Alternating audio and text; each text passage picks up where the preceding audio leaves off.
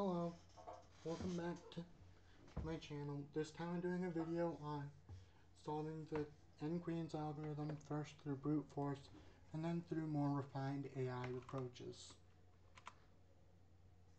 This is the this should run all of them at once and as we can see it found the first solution for 8 queens through brute force in 0.004 seconds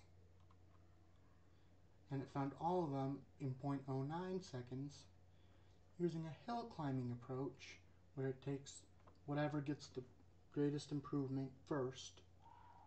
It took 1.175 seconds, taking whatever gets a better approach and also adding a completely random board into the mix.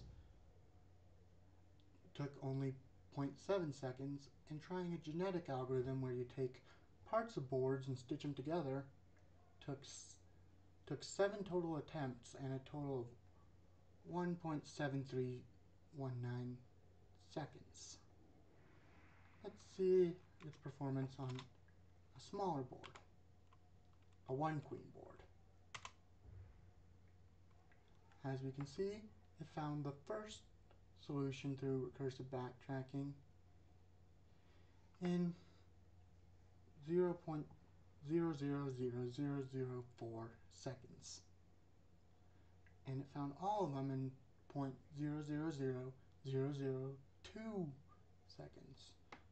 And found all of them in 1.072 divided.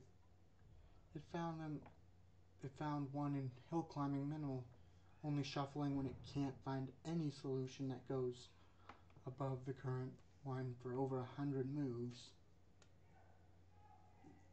in 1.07 over 10,000 seconds.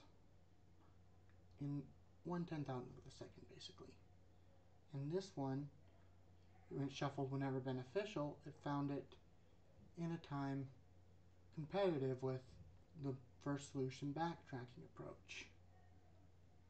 The genetic algorithm approach took way longer than everything but the minimal shuffling hill climb approach. But it solved the problem. Now let's see how it does on a bigger board. Nine queens. Yeah. Okay. And it found the first solution for 9 queens in 0.002 seconds through the brute force recursive backtracking. Found all of them in a little over half a second through recursive brute force backtracking. Found a solution through minimal shuffling approach in 0.224 seconds. Found a shuffling whenever it improves approach of hill climbing. It found it in 0.006 seconds. And the genetic algorithm, with its randomness, took 1.5 seconds to find the solution to the same problem. Yeah, the inherent randomness kind of causes issues. Let's try a 10 queens board. Yep. That's a lot of damage and a lot of solutions.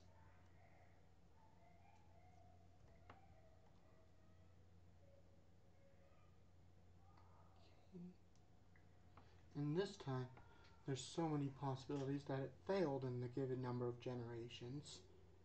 It's, it never managed to produce a single one that actually solved the n-queens problem. It came pretty close in 15 seconds, finding a finding a finding a board that only has two queens that conflict. The minimal sh shuffling hill climbing approach took 0.3 seconds to find one. Here's where shuffling whenever it improves starts to become worse.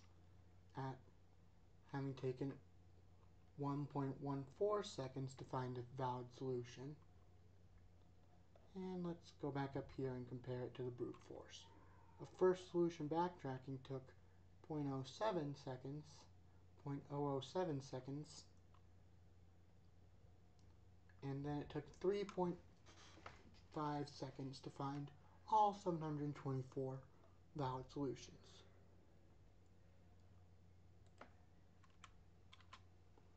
But all this shows is that there's a, on low, relatively low ends, there's less solutions. Let's try a 12 queen board.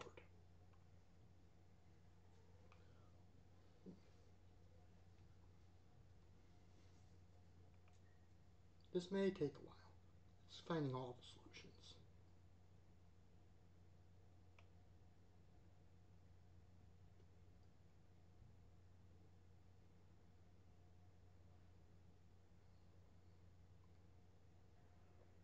Yep, it's gonna take a while. There's a lot of them.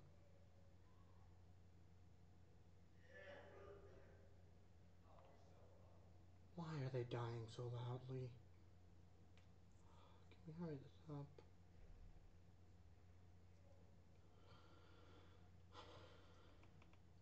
And this is why sometimes this approach may not, the brute force approach may start having problems. I'll bring you back when it's done, okay?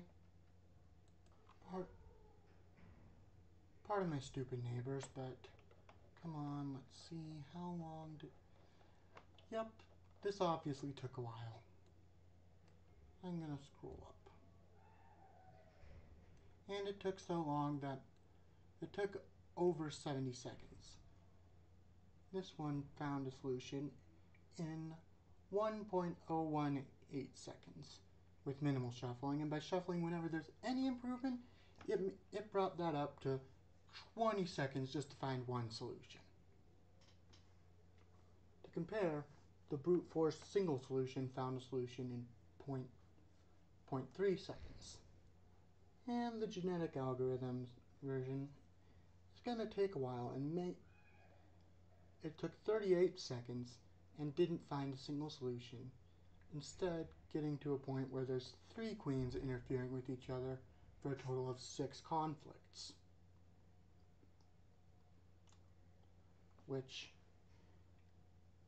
yeah.